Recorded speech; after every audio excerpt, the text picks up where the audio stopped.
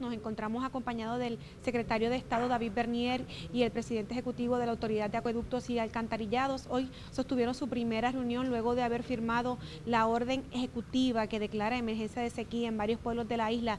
¿Cómo fluyó la reunión? Una reunión muy productiva, se evaluó la precipitación de los pasados días y es importante subrayar que no es significativa como para decir que se ha superado el periodo eh, de sequía que enfrentamos y que el pronóstico de los próximos días tampoco es alentador lo que hace necesario que se intensifiquen los esfuerzos, que se trabaje de manera coordinada a través del gobierno y que de igual forma la ciudadanía continúe con su actitud eh, eh, de preservar eh, el agua y de utilizarla de manera responsable.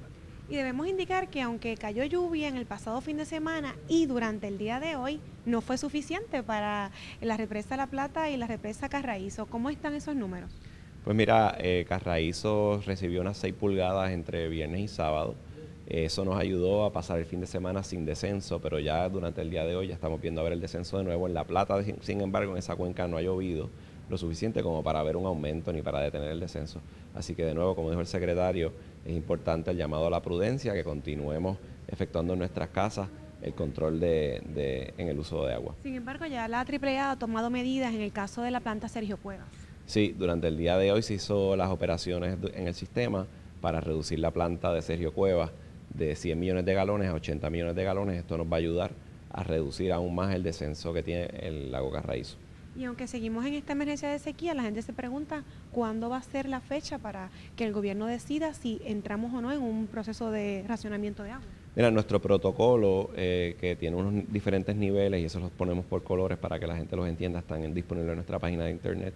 Nosotros normalmente declararíamos eh, el racionamiento cuando llega anaranjado eh, sin embargo, se puede decidir entrar en racionamiento antes si es que entendemos prudente, cosa de conservar más aún los niveles que tenemos en el embalse. Todo va a depender de los pronósticos del tiempo y cuánta agua se vaya utilizando y la reacción ¿verdad? de los clientes en cuanto a la conservación del agua. Usted indicó que la plata pasaría de verde a azul. ¿Qué significa eso? Bueno, posiblemente, eh, viendo el descenso que lleva en estos últimos días, eh, verde significa que está en nivel saludable, azul significa que está de observación observación ya pues eh, es más intenso el análisis que se le hace y, aunque entra a nivel de observación, lo llevamos observando ya por mucho tiempo, ¿verdad? Sabiendo en la temporada de seca que estamos.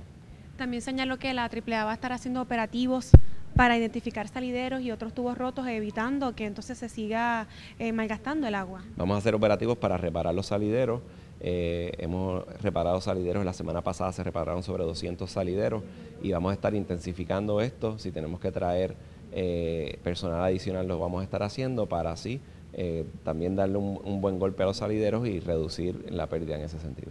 Bueno, pues muchas gracias. Sin embargo, antes de terminar, tengo que preguntarle, Standard Poor's te graduó hoy los bonos de la Autoridad de Acueductos y Alcantarillados. ¿Cuál es su reacción hacia él? Bueno, mi reacción es que eh, estamos en la misma después de haber sido degradados por Moody's y por, por, Fitch. O sea que esto es una, una degradación adicional. El, el, impacto que puede tener es en nuestra posibilidad de acceso al mercado. Que quiere decir que ahora pues se nos va a ser más difícil conseguir dinero para hacer el programa de las capitales y vamos a estar eh, buscando alternativas de financiamiento.